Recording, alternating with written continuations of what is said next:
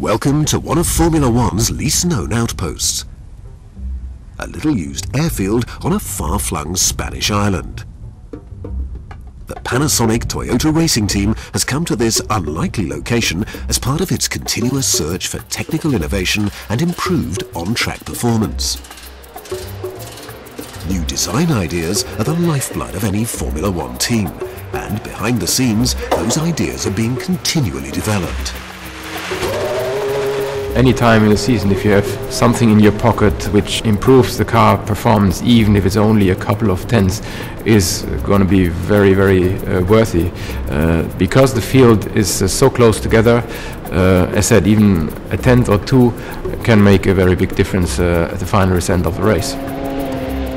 The airfield is a perfect place for Jarno Trulli to practice race starts, an important driver skill given this year's absence of traction control but most of the work that's done here is strictly confidential.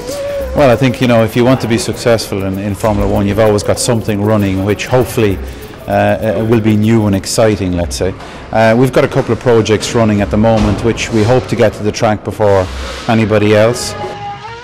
Particularly aero is obviously something where you're always trying to make strides and I think, you know, with our aero team at the moment they've come up with a, a couple of nice ideas. So fingers crossed we'll we'll make a, a big leap soon. The exact nature of this test must be kept secret. But there's a palpable air of excitement in the aircraft hangar where the team has set up base camp. And obviously I can't go into detail uh, about our developments, but we have something on the uh, design uh, table at the moment which is looking very, very promising indeed.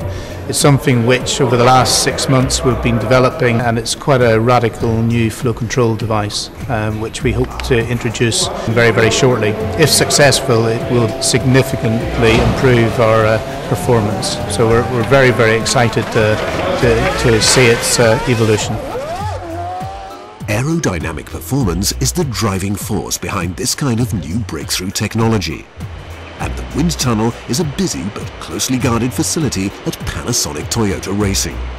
What you're trying to achieve in, in many respects is to really come up with something revolutionary, not purely an evolution of something that exists, because the only way you're going to get out there and win is, is really something new, something that's uh, new maybe to the concept of the car you're running and that's how it evolves over the whole season.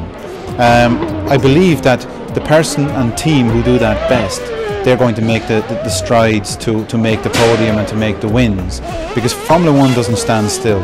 So every race you need to be putting something new on the car, you need to be coming with some new, uh, as I said, revolutionary ideas if you like, and whoever is doing that, that's the team that's going to be on the top.